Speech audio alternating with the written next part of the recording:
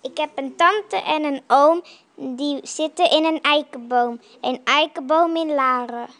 Ze hebben zelf van eikenhout daar in die boom een huis gebouwd. Ze wonen er al jaren. Daar slapen ze dan en daar eten ze dan. Het is erg gezellig, daar niet van.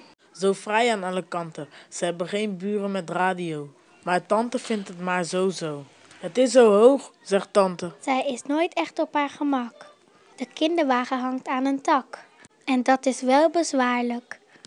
Ze zegt telkens tegen oom, ik wil in een lagere boom. Hier is het me te gevaarlijk. Dan zegt oom, och kom, och kom. Een lagere boom? Wel nee, waarom? We hebben hier alle gemakken.